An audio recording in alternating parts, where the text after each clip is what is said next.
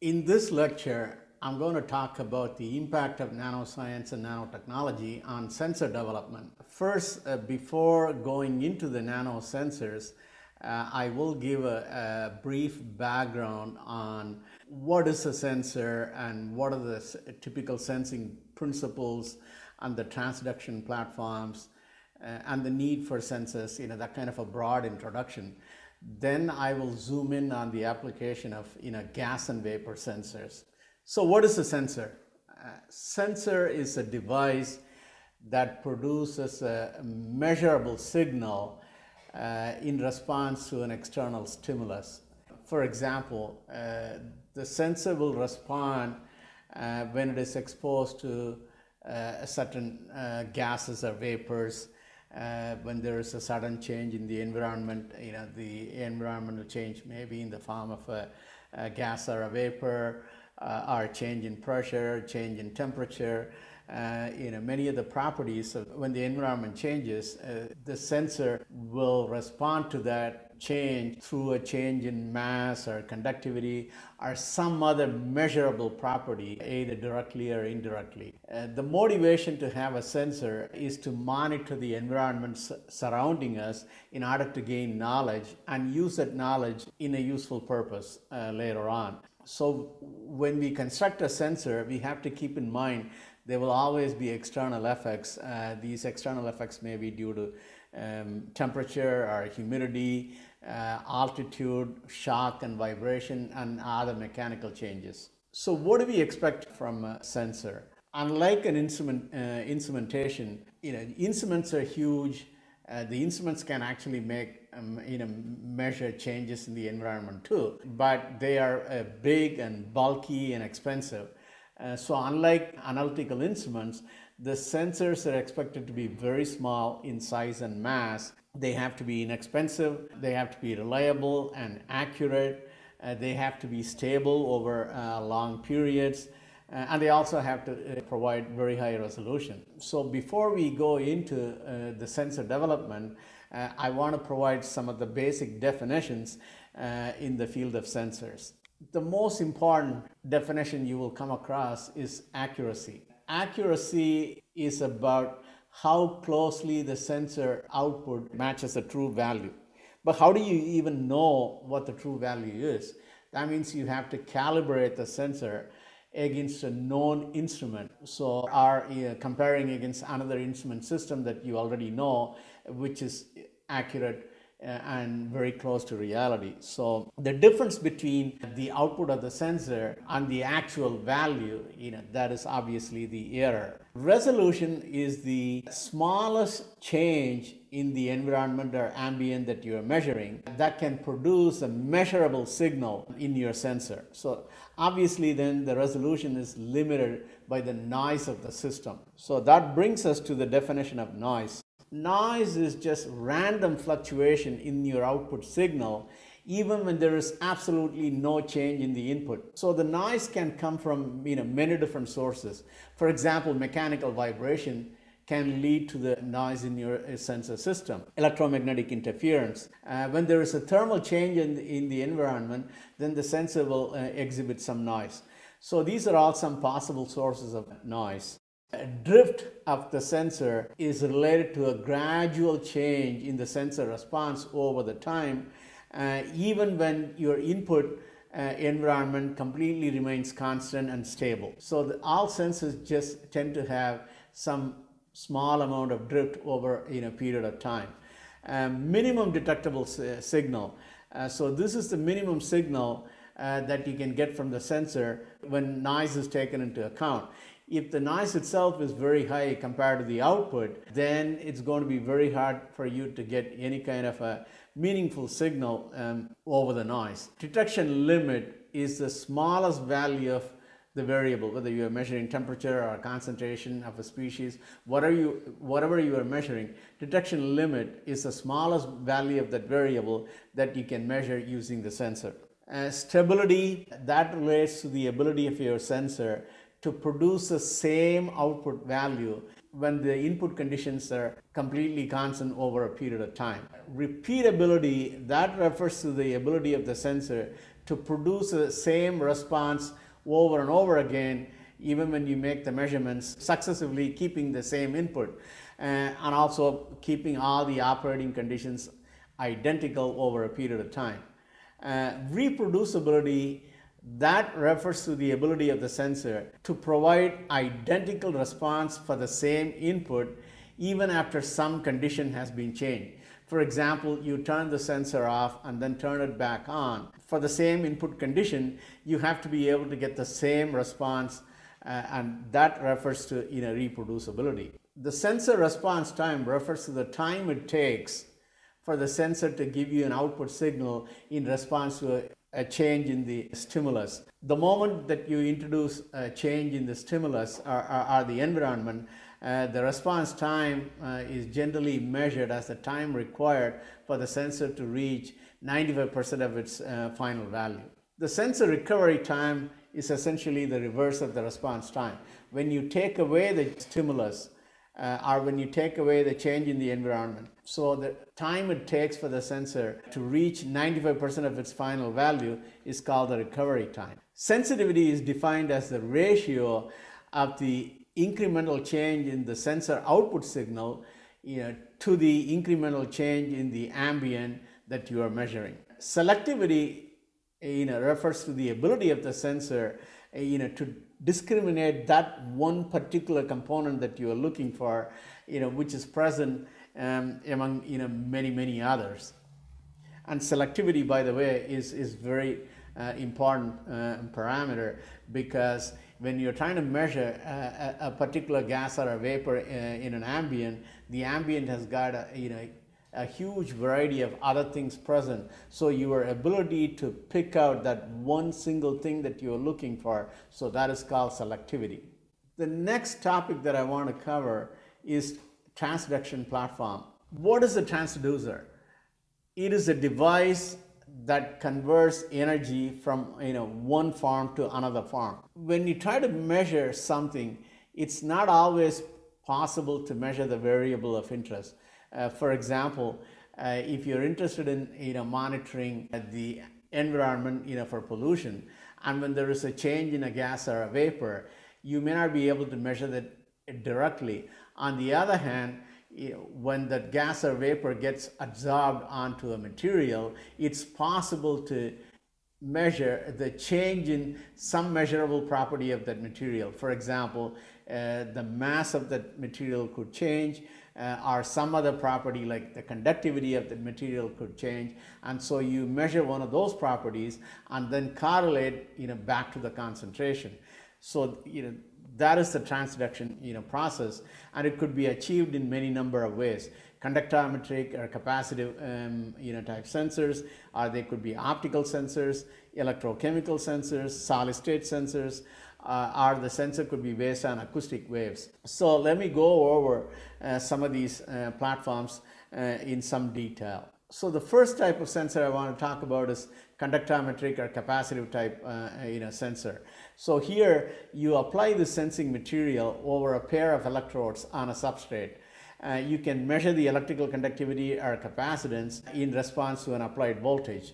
Uh, if you're measuring the conductivity, it is governed by the Ohm's law you know, voltage divided by current is given by resistance.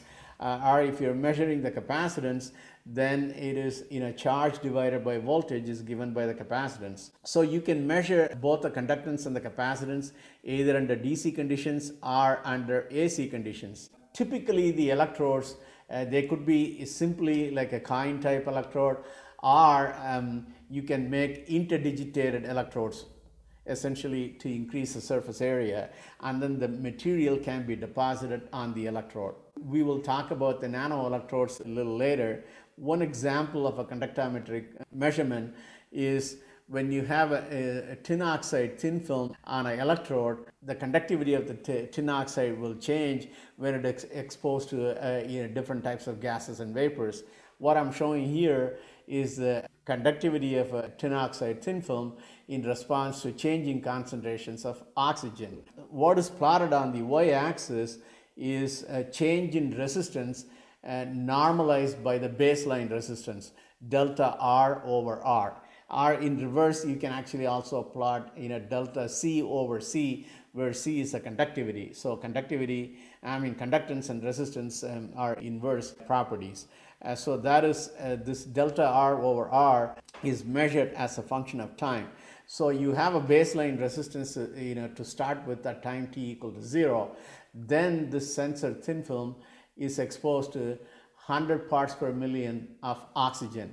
Then the resistance of it uh, uh, goes up, as you can see from the curve. Then after a certain time, you know, when you take away the source of oxygen, the resistance goes back to its baseline. So that is the recovery time.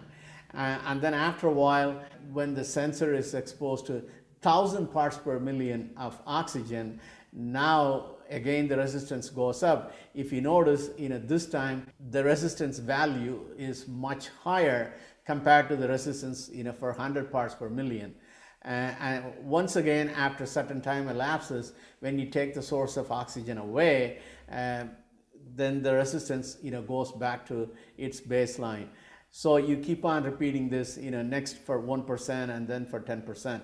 So in each of those cases, the resistance really shoots up in, response to oxygen. So this is, this is one way of actually, uh, you know, measuring the response of uh, a, a, sensor uh, to oxygen. So here we are measuring, you know, resistance. Likewise, you can also, you know, measure uh, capacitance.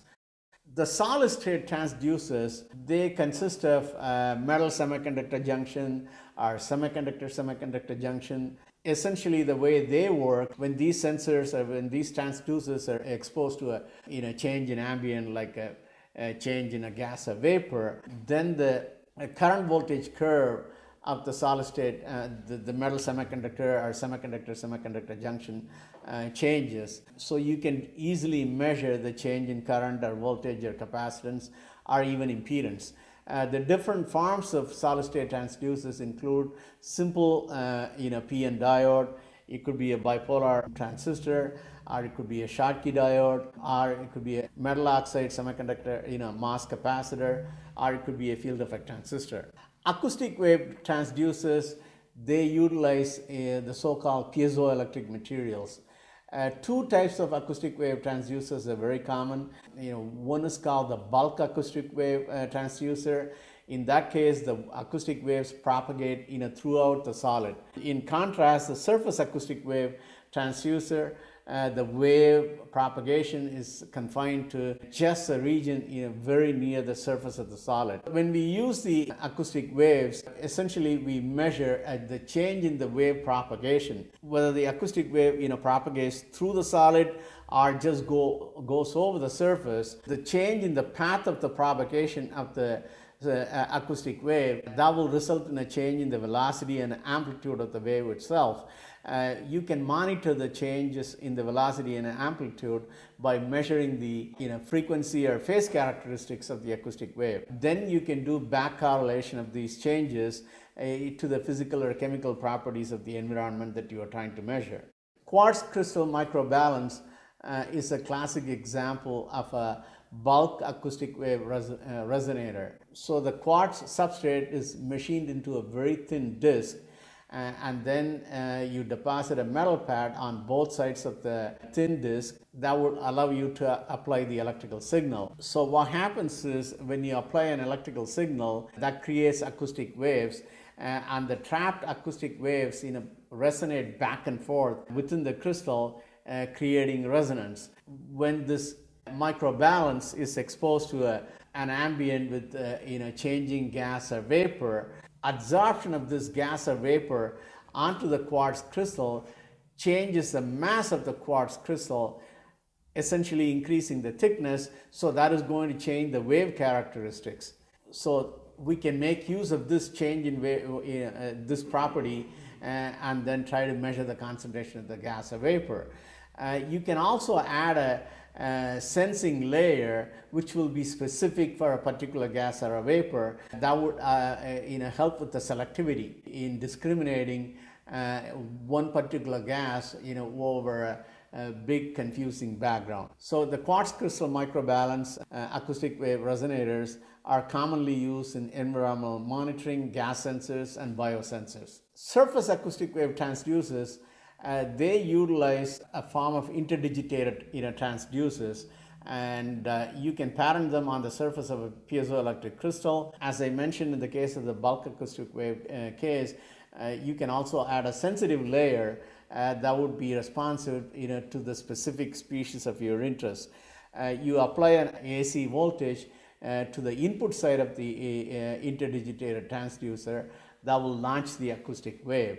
Uh, the wave then travels along the surface uh, of the piezoelectric crystal and then goes over to the output side of the interdigitated transducer. There it is getting converted to the uh, back to the electrical signal. Uh, so the SAW transducers are used in sensing you know, temperature, acceleration, uh, force or pressure, electric field, magnetic field, uh, gas flow, environmental monitoring, changes in gases or vapor, and also uh, biosensors. Uh, there is a cantilever based transducer. You can fabricate a micro cantilever uh, which will resonate uh, when there is a change in the ambient. Uh, the change in the ambient could be in a you know, gas or vapor, or a change in humidity, change in temperature, change in pressure. Any number of variables can induce uh, or resonate the micro cantilever.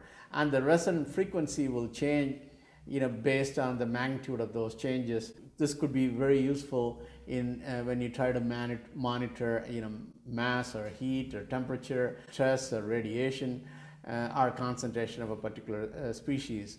Uh, so the resonation frequency is typically from you know 100 megahertz to 5 gigahertz. It depends on the cantilever material and also the size of the cantilever um, itself. You can use the in a cantilever to monitor biological interactions. For example, you know, antigen antibody um, interaction, uh, hybridization of you know DNA strands.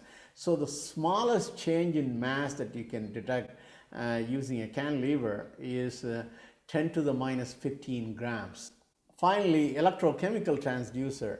These transducers, they generate you know, signals you know, from the presence and interaction of chemical species. Here you are making use of chemical effects to monitor species, uh, the concentration of various species.